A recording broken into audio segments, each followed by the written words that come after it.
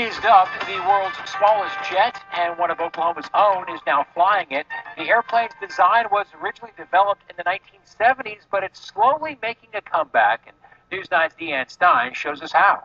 That's right, Carl. The small plane was originally called the BD 5, a build it yourself airplane that was also featured in air shows. But now, Oklahoma pilot Justin Lewis is working with a company out of Oregon to upgrade the aircraft and once again wow the crowds.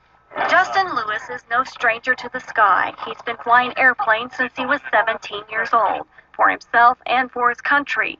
But these days, he's strapping into what's been dubbed the world's smallest jet airplane. It became one of the most famous air shows of all time. That was back in the 1970s when the BD 5 was developed, becoming a public sensation.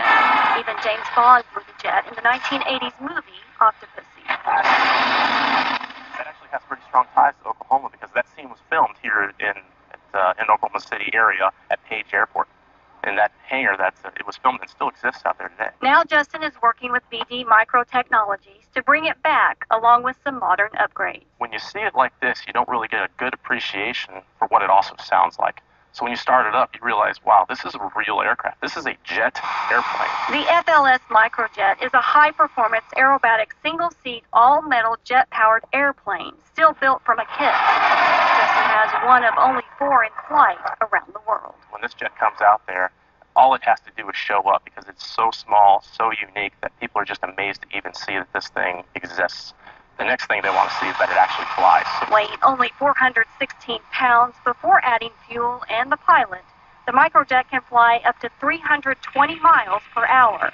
The ultimate thrill ride. You're sitting in this bubble canopy. You have the whole world outside of you, and when it's this small, you are really strapped this airplane. Uh, it is just like you have wings. Now Justin hopes to get a sponsor and feature his plane in air shows with his family and biggest fans in tow.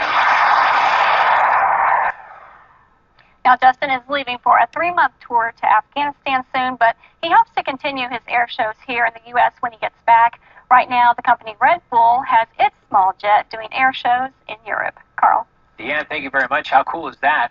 That aircraft still comes in a build it yourself kit. You can get one for $180,000. For more information on the microjets, just go to news9.com slash links.